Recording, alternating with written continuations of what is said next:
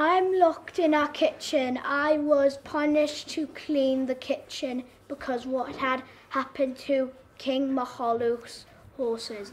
And every day I was slapped by the evil cook.